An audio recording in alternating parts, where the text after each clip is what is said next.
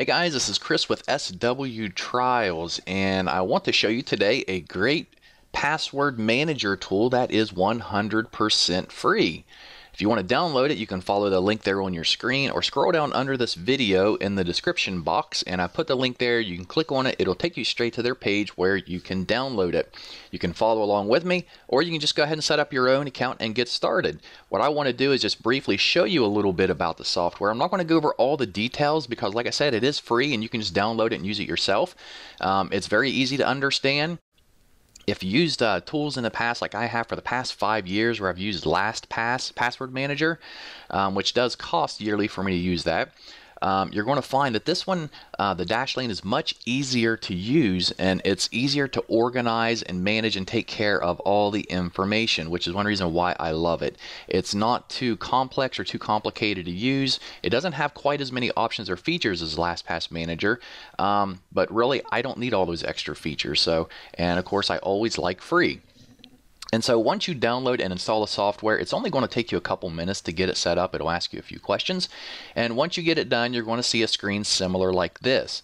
Now, you won't have all these boxes here on your screen yet because you have not imported or added any usernames and passwords to Dashlane yet. So what you would need to do if you already have usernames and passwords stored on your computer, whether it's through a browser or another software tool, you can go over here to File, click on Import Passwords, and you'll see there's different ways you can import passwords from ways that you have them saved on your computer. Now, if this screen is a little bit hard for you to see, you can maximize your window. This was recorded in HD.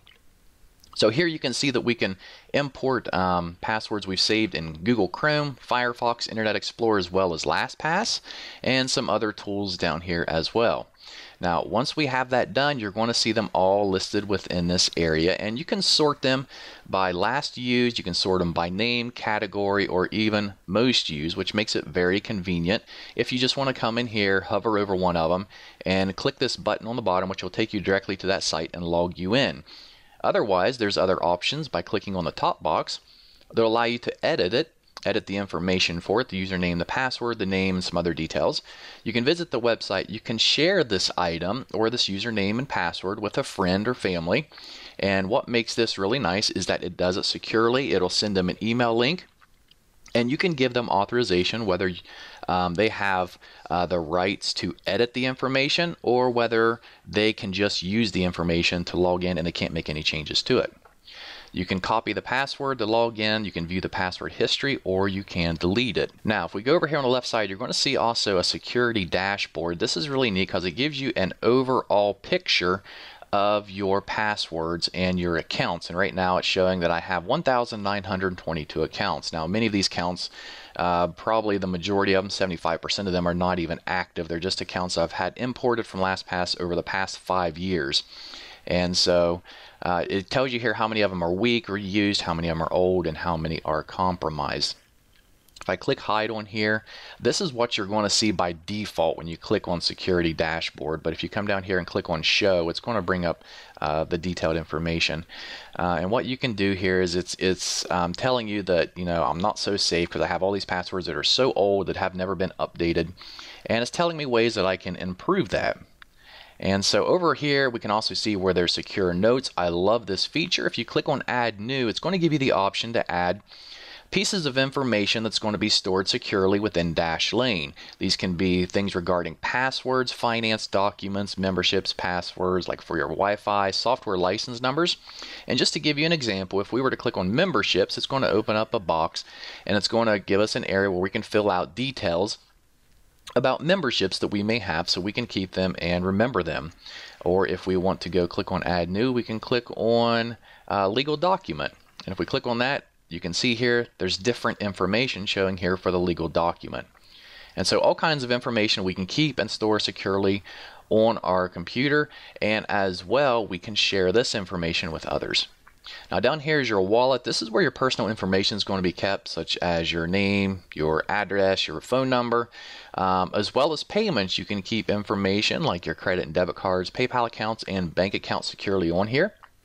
And I do just want to give you a heads up also when you create your account, it's going to ask you to create a master password or a password that's going to give you full access to your software. Now you have to remember your master password and if you forget it, there is no option to recover that password. There's no option to send you a reminder of that password because that's what makes this software so secure is that you are the only one that knows that master password. Therefore, you're the only one that can access the information within the Dashlane password manager. So do not forget the master password. Okay, so Next, we have the IDs. On the IDs, we can add things like uh, passports and tax information, and it will, it will even notify you six months before your IDs and passports expire. Down here's receipts. This is really neat. I haven't had a chance to use this yet. But what it'll do is keep track of your online purchases. So if you make a purchase online, a screen will pop up and it'll ask you if you want to keep a copy of this within uh, this section. If you choose yes, it's going to store it here for you. And if for some reason it doesn't, you come up here and click on add new and manually add it. Now, contacts, this is where you can share your information with your family, friends, coworkers. Um, it's pretty easy to do. It's, it's, it's secure. It'll send them an email through a secure link they have to click on and then they can use that as well. And then for emergency, it says here's where you can give someone emergency access to the passwords you keep in Dashlane. Now, down here at the bottom, you'll see where it says sync is off and you can turn it on now. This is a premium upgrade, which you can get, but you don't have to. Um, I didn't purchase this. Uh, you can install this software on your phones, on your computers, your laptops, or whatever, and use it for free. But if you want to be able to sync the data between all those devices, you will have to upgrade to a premium account, which I believe is around 29 or maybe $39. I'm not sure. I didn't upgrade. I'm not going to upgrade. I'm just going to use it the way it is. Um, but there's that option if you do want to sync all the information together, you can upgrade to do that.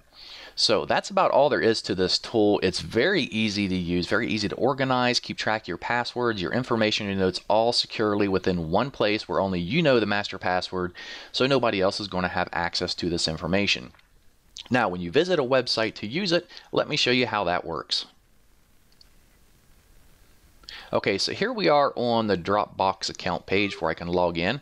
Now what I'm going to do is I'm going to refresh this page and show you what happens when you visit a site and it just opens up with a, a box here to log in. So let's click here. And you can see here as soon as it refreshes, it says choose the account you would like to log in with. Now it's asking me if I want to use my my personal account, if I want to use um, my business account or if I want to use the one that I currently have set up with our church.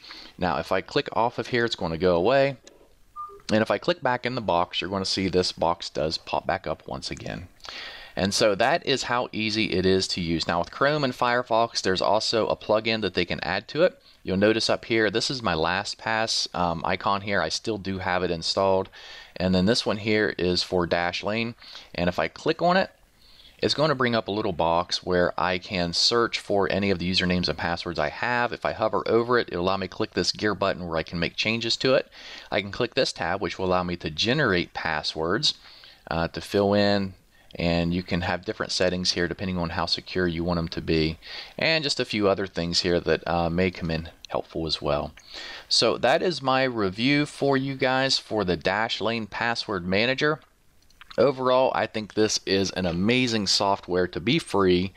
Um, it's, it's very secure. It's recommended by numerous sites such as um, the Wall Street Journal, by Forbes, by Lifehacker, by PC Mag, and, and many others. So um, go ahead and download it free. Like I said, you can use it on different devices that you own. Uh, that link's under this video. Just click on it. It'll take you straight to their website. So if you do want to get more information, read more about it, uh, you can do it there as well as download it. So I hope this review's been helpful for you guys. And uh, until I see you next time, have a wonderful day.